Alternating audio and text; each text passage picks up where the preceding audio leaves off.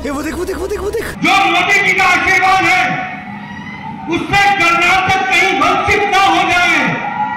इसलिए मेरा आपसे निवेदन है कि आपने कमल को जिताना है। तो भाई बीजेपी के राष्ट्रीय अध्यक्ष जेपी नड्डा के इस बयान को सुनकर लोग हैरत में पड़ गए और तरह तरह के बातें कर रहे हैं।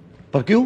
तो मामला यह है कि जेपी नड्डा जी कर्नाटक में एक सभा को संबोधित करते हुए कुछ ऐसा कह दिए जिसे लोग अब अपने अपने नज़रिए से देख रहे हैं। और कांग्रेस ने तो यह भी आरोप लगा दिया कि नड्डा जी लोगों को धमकाकर वोट लेना चाहते हैं। हालाँकि अगर जेपी नड्डा जी के बयान को ध्यान से सुना जाए तो कुछ ऐसा ही प्रतीत होता है। जो मोदी जी का आशीर्वाद है उसमें कर्नाटक कहीं वंचित न हो जाए तो इसी पे कांग्रेस नेत्री सुप्रिया श्रीनाथ लिखते हैं वैसे मित्रों की जानकारी के लिए जनहित में याद दिला दूँ कि ऐसे ही अहंकारी भाषण और धमकियाँ हिमाचल में भी दी गई थी। ये लोकतंत्र ऐसा है प्यार से सिर पे बैठाने को बपौती मत समझिए उतार फेंकने में वक्त नहीं लगाती जनता। को समझ रहे हैं मोदी जी के नड्डा जी? नहीं नहीं नहीं नहीं यहाँ कुछ तो गड़बड़ है। अभी से।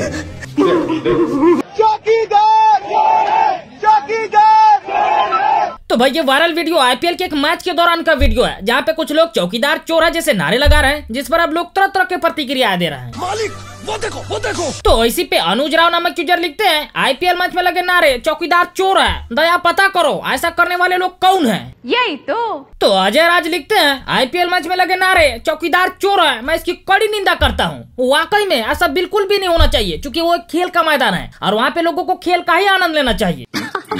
सही पकड़े हैं। अच्छा हाँ वैसे आप लोगों को पता ही होगा कि अभी कुछ ही दिन पहले आईपीएल मैच के दौरान ही सीएम अशोक गहलोत के मौजूदगी में मोदी मोदी के नारे लगे थे जिसे मेन स्ट्रीम की मीडिया में भी दिखाया गया था कि यह मोदी जी की लोकप्रियता। लेकिन अब जब कुछ इस तरह के नारे लगे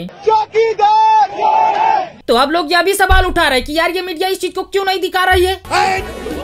अरे निकालो इस को यहाँ से। ये सब क्या देखना पड़ रहा है? अच्छा है मैं अंधा हूँ। वैसे आप इस बारे में क्या सोचते हैं? कमेंट बॉक्स में अपनी राय ज़रूर लिखिए।